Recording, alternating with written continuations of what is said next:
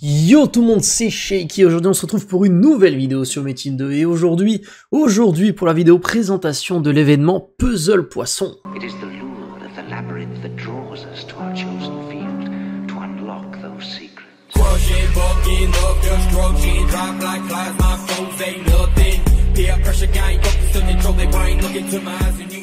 Alors c'est un événement que je trouve très très intéressant qui va pas vous demander de gros prérequis, euh, de gros stuff, euh, de gros levels. Euh. c'est un événement qui de plein de manières différentes est vraiment très très intéressant. Donc ouvrez bien vos oreilles. Donc déjà le premier prérequis, si vous connaissez rien du tout à la pêche, ça va être d'aller voir ma vidéo sur la pêche pour bien comprendre ce qui se passe dans cet événement, parce qu'évidemment, vous le comprendrez avec le nom de l'événement, ça concerne bien évidemment la pêche. Donc je vous mets une petite fiche en haut à droite si vous voulez aller voir la vidéo et si vous ne connaissez pas encore tout sur la pêche, euh, enfin du moins en tout cas la nouvelle version de la pêche aussi parce que ça aussi ça rentre en compte. Et du coup, étant donné que vous avez bien évidemment tous vu cette vidéo, euh, vous comprendrez que pour participer à cet événement, il faut donc être au minimum niveau 30 et bien évidemment posséder une canne à pêche et un appât.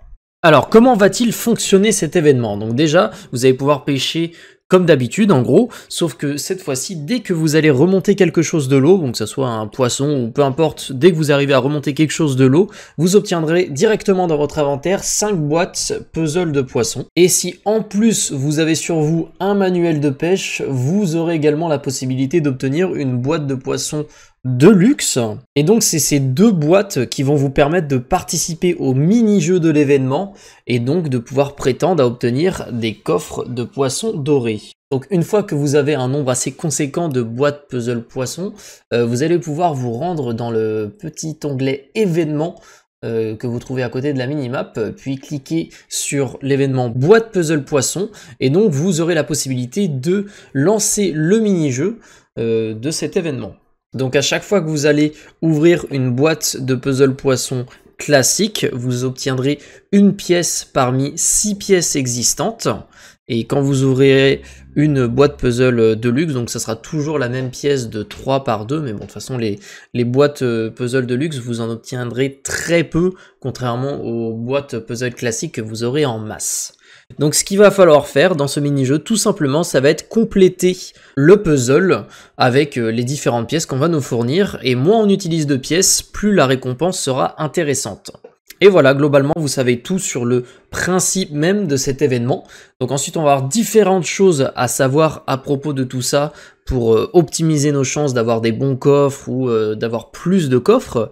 Donc déjà, la première chose à savoir, c'est que ce taux de remontage de poissons pour donc obtenir des, euh, boîtes puzzle poissons, euh, ça va dépendre de notre taux de, chance de pouvoir remonter des poissons. Et ça, c'est défini par notre canne à pêche, si on a une canne à pêche classique plus 1, ou si on a une canne à pêche plus 6, ou si on a la meilleure de toutes les cannes à pêche, qui est la canne à pêche en carbone, et également la présence ou non du manuel de pêche dans notre inventaire. Donc le manuel de pêche qui, je rappelle, peut être obtenu dans l'item shop pour très peu cher. Euh, la version 7 jours, elle est à 18 DC. Donc c'est un achat plutôt rentable pour ce genre d'événement. Et puis sinon, ça peut être shopable dans différents coffres du jeu également. Et donc avec ce setup, en gros le meilleur setup que vous pourrez avoir pour optimiser au maximum cet événement, et je peux vous dire que la différence est vraiment notable, c'est quand vous avez une canne à pêche carbone et un manuel de pêche sur vous. Là, vous avez vraiment le maximum de chances de remonter des poissons, et donc vous faites vraiment masse de boîtes puzzle poissons euh, qui vous permettent après de faire un maximum de mini-jeux. Donc j'ai pas précisé, euh, mais concernant euh, le nombre de, de, coups que vous utilisez pour remplir le puzzle et le coffre que vous obtiendrez, donc faut savoir que ce coffre, ça sera euh, toujours le même contenu à l'intérieur, ce qui va changer en fait c'est le nombre d'ouvertures que vous aurez. Donc c'est-à-dire que si vous finissez le jeu en 10 coups au moins, ou moins pardon, vous obtiendrez un coffre grand, donc vous aurez trois ouvertures. Le coffre du poisson doré grand, qui a trois ouvertures, si vous réussissez entre 11 et 24 coups, vous aurez un coffre poisson doré moyen qui lui pourra être ouvert deux fois. Et si vous réussissez en plus de 25 coups, là vous aurez un coffre dragon, euh, un coffre poisson pardon doré petit qui pourra être ouvert une seule fois. Donc pour être optimal dans ce mini-jeu, ce que je vais vous conseiller, c'est de vous rendre dans le lien qu'il y a dans la description qui mène sur le wiki, la page wiki euh, de cet événement. Euh, et vous allez avoir dedans les pièces qui sont existantes. Bon, je vous les affiche également. Euh, donc elles sont au nombre de 6. C'est très important de les avoir en tête parce que sinon vous ne saurez pas comment optimiser votre jeu et comment remplir de la manière la plus optimale euh, votre puzzle. Donc vraiment très très important d'avoir ça sous les yeux au début. Après vous allez voir que vous allez les retenir très vite. Mais dans un premier temps, pour moi c'est vraiment primordial euh, de, les avoir sous les yeux pour ne pas les oublier et bien euh, savoir où mettre les pièces, qu'est-ce qui peut arriver et qu'est-ce qui n'arrivera surtout jamais. Et globalement, après ça, ça va être surtout de, l'expérience. À force d'en faire, euh, vous aurez des patterns qui vont se créer. Bon, je vais vous montrer juste après comment moi je m'y prends dans ce jeu-là. moi, j'ai une technique, voilà, qui n'est pas, qui n'est pas une technique universel ou quoi, c'est juste que je vais essayer globalement de créer des formes qui vont permettre aux autres pièces de venir euh, s'insérer à l'intérieur. En fait, c'est même pas vraiment une technique, c'est vraiment juste ce qu'il faut faire.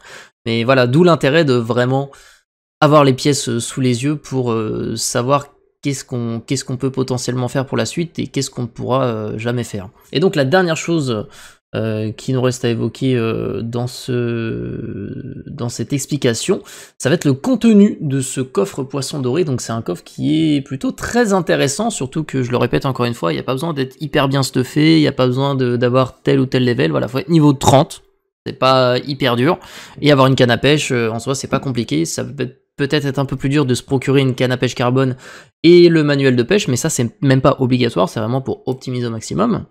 Euh, mais bon bref, du coup dans ce coffre vous pouvez obtenir les montures euh, de cheval noir 15 jours, donc ça voilà, ça peut être pas mal du tout. Euh, vous pouvez avoir les médailles de héros un jour, donc si vraiment vous avez un stock énorme de coffres poissons dorés, vous pouvez vous booster pour pas mal d'instances. Dès que vous savez que vous allez partir faire plusieurs instances dans, dans, dans, une fourchette de 24 heures, et bah hop, vous ouvrez des coffres poissons dorés jusqu'à obtenir la médaille du héros un jour, et vous aurez 30% de dégâts physiques en plus, et puis les PV, tout ça. Euh, dedans, vous avez euh, les orbes de bénédiction, les parchemins. Bon, ça c'est pas très intéressant. Ce qui va être plus intéressant aussi, ça va être euh, les ajouts et les switch B. Pas mal du tout, ça. Vous avez les œufs de singe aussi dedans. Bon, ça c'est pas hyper intéressant. Vous avez l'étoile de roi aussi, qui est pas mal du tout. Parchemin d'exorcisme, haricots zen, les CCPH RDL, donc bon, pas pas oufissime, mais pas mal quand même.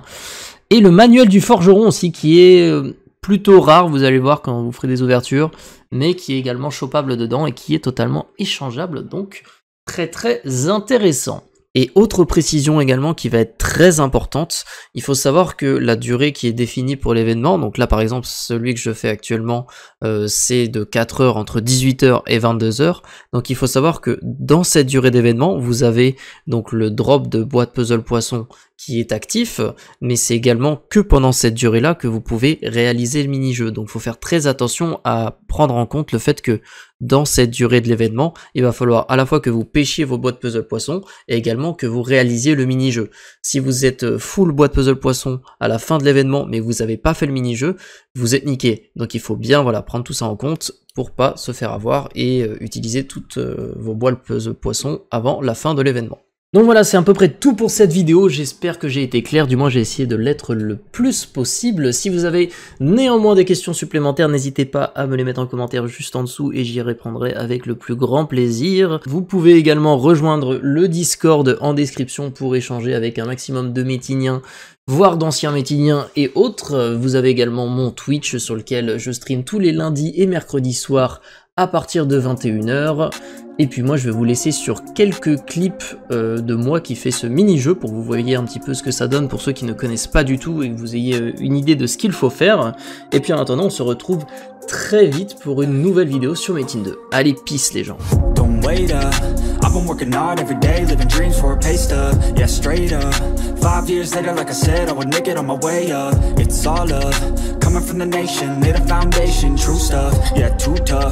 We ain't giving up on our dreams, everything is ahead of us. Stay true to your path, it's not where you start It's all where you're at, it's where you end up When your back's to the mat, do you cripple the flat Or get up off your back, deliver these facts To see them react, the stadium's packed They all gonna snap, the motivated attract The isolated attack, the frustrated hit back.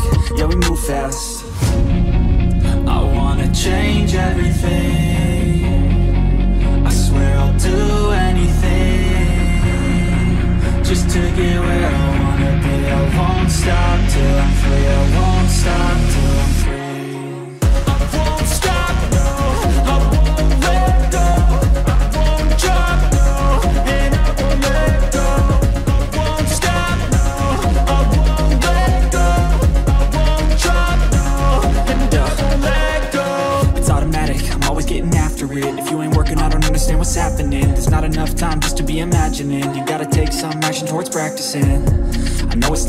but you gotta get out there Make your own meaning, can't afford to have doubts They'll interrupt dreaming, I just wanna look out there The crowd all screaming. I wanna change everything. I swear I'll do anything Just to get where I wanna be. I won't stop till I'm free, I won't stop